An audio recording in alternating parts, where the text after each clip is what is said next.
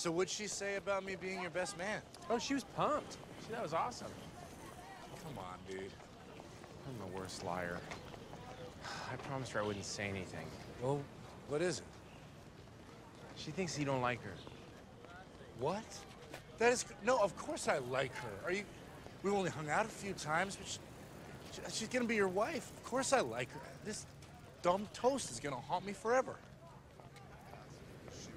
Oh, man. Dude, why is Ferrigno eating that urinal cake faced fuckhead?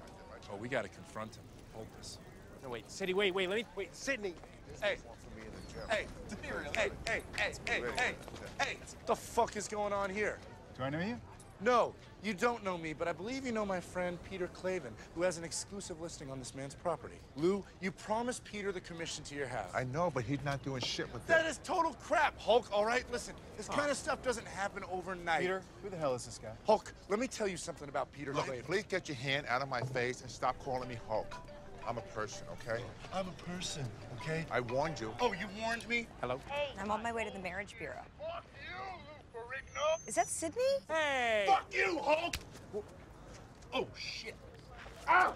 What the? What are you doing? Wait, what's going on? Sydney's fighting Lou Ferrigno. Relax, you're so strong. Easy. The Hulk has me in a sleeper hold, and I don't think I can take him out. That's it. Wow.